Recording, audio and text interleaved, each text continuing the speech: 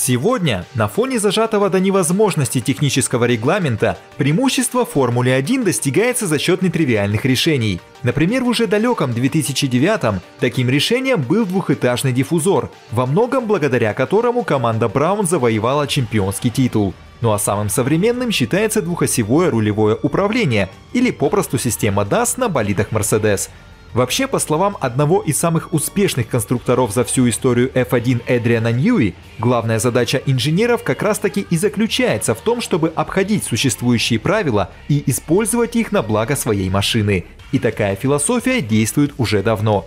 Так, примерно 44 года назад одна маленькая, но гордая команда, переживавшая некоторый спад результативности, предложила F1 настолько нестандартное решение, что никто из соперников так и не рискнул использовать его копию в гонках.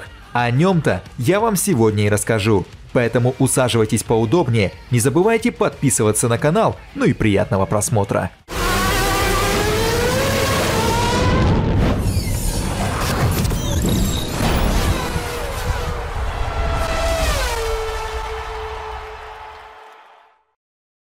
Наземное четырехколесное транспортное средство. Данная цитата взята из достаточно прозаичного произведения – технического регламента Формулы-1. И как вы уже догадались, она ограничивает количество колес, посредством которых может перемещаться болид F1, то есть четырьмя. Но это утверждение существовало далеко не всегда. До определенного момента все было наоборот, и многоногое транспортное средство представлялось более выгодным с различных точек зрения, да и никаких запретов по этому поводу не существовало. Да вот только не всем подобные гениальные мысли приходили на ум. Фактически, первыми, кто не только ощутили эту идею, но и воплотили ее в жизнь, были Кен Тиррелл и Фрэнк Гарнер. Идея, казалось бы, лежала на поверхности. Какой элемент машины создает наибольшие аэродинамические проблемы?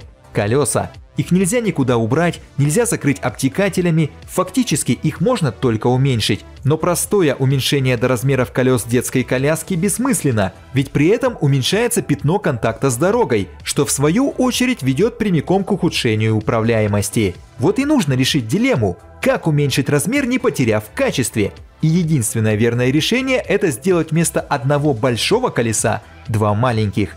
Гарднер в 1975 году предложил нетривиальное решение дядюшке Кену, и тот согласился. Идея захватила его, и вскоре первая шестиколесная машина Формулы-1 стояла на газоне заднего двора дома Тиррелла. Фактически, там и прошла первая презентация болида. Выглядела она по меньшей мере экстравагантно. В общем-то, обычная задняя часть машины перетекала в переднюю подвеску, в которой вместо двух колес размещались 4 16-дюймовых колесика.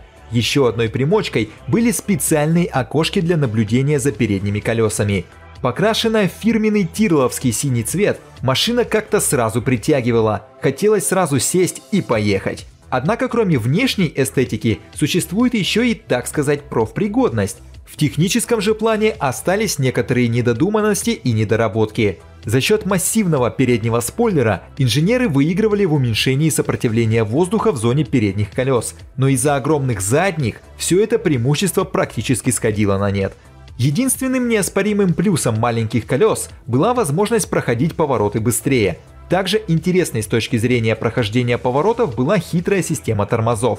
Маленькие колеса требовали соответственно маленьких тормозов. Их Гарнер позаимствовал у дорожного мини-купера. Он разместил тормоза таким образом, при котором можно было блокировать либо обе передние оси, либо одну из них по необходимости. В зависимости от того, какая пара колес была заблокирована, передняя или задняя, увеличивалась или уменьшалась эффективная база колес. Особым образом было разработано рулевое управление. Оригинальная система позволяла поворачивать управляемые колеса на разные углы.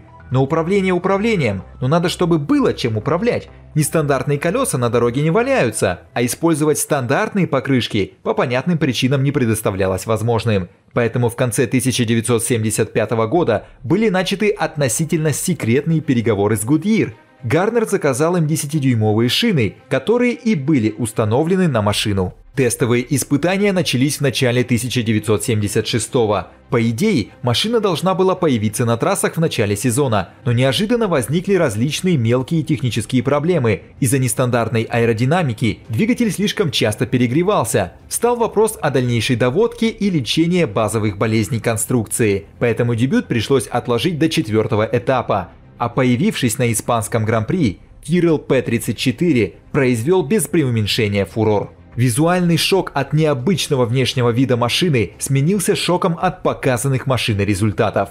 Правда, первый номер команды Джоди Шектор выступал на старом Тирл 007, а вот его напарник по команде Патрик Депае на шестиколесной новинке занял третье место в квалификации. И несмотря на то, что дебют модели в гонке был немного смазан, Депае угодил в аварию, начало было многообещающим. К следующему этапу команда подготовила новые болиды уже для обоих пилотов – а еще чуть позже, на узких улочках Монако, Шектор привел П-34 к первому подиуму. Но настоящий взлет ждал команду в Швеции. В гонке шестиколесная новинка безоговорочно доминировала. Благодаря маленьким колесам машина как нельзя лучше подходила для узких поворотов Андерсторпа. Результатом доминирования стал дубль, причем приехавшему третьим Лауди Шектор привез более 30 секунд. До конца сезона П-34 завоевал еще 6 вторых мест, а пилоты заняли, соответственно, третье и четвертое места в общем зачете. И в конце года настроение у команды было самое радужное. Конечно, по ходу дебютного сезона не обошлось без проблем. Дважды возникали проблемы с подвеской, пару раз перегревался двигатель, но в общем все было просто отлично. В межсезонье шасси было усовершенствовано. Обводы болида стали более плавными, а за счет использования титановых деталей удалось уменьшить массу. Гарнер модернизировал переднюю подвеску и удлинил базу, хотя общая конструкция осталась прежней. Правда, в новом сезоне Шектор покинул бригаду Тиррелла и ушел к Уольтеру Вольфу, а освободившееся место занял Ронни Петерсон, сбежавший из стремительно погружающегося в проблемы Марч. Но вопреки ожиданиям, сезон 77 года ничего кроме разочарования не принес. Машину преследовали хронические поломки, а двигатели Ford были как никогда паршивыми. 7 отказов за сезон. В довершие трижды подвела система подачи топлива, а негативный результат был подкреплен пятью авариями, в которые угодили пилоты команды. В итоге гонщики за весь сезон лишь трижды смогли занять нижнюю ступеньку подиума, да еще Дипае в Канаде заработал серебро. В итоговой таблице чемпионата пилоты команды заняли соответственно 9 и 14 места, наскребя на двоих 27 очков.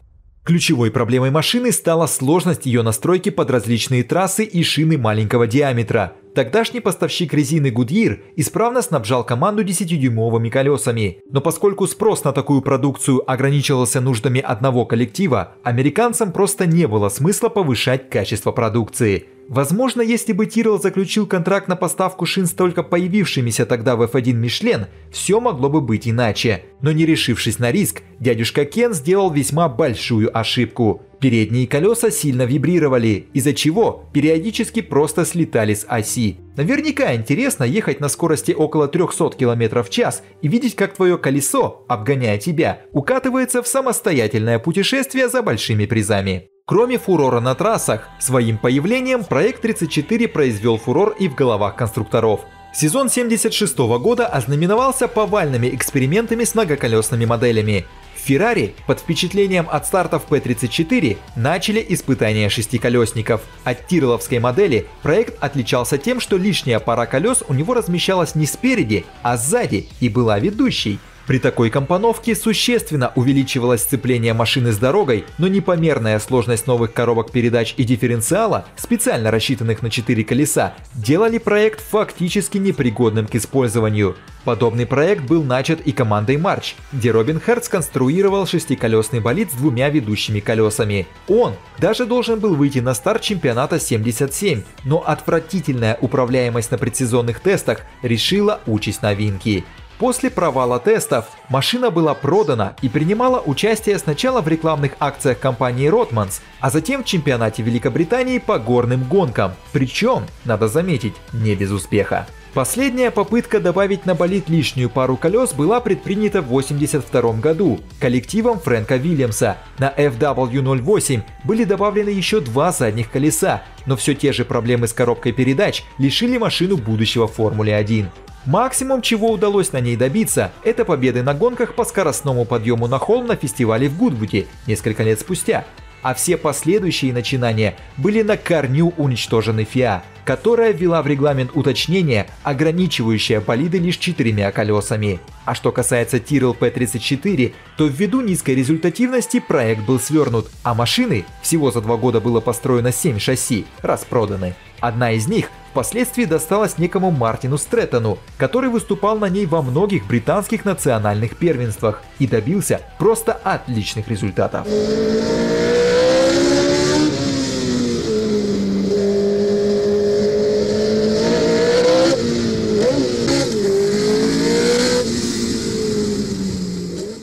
Что ж, дорогие друзья, надеюсь вам понравился этот выпуск, поэтому не забудьте поставить лайк, а также при желании поддержать проект финансово, перейдя по ссылке в описании или нажав на кнопку спонсировать прямо на ютубе. Ну а на сегодня на этом все, удачи!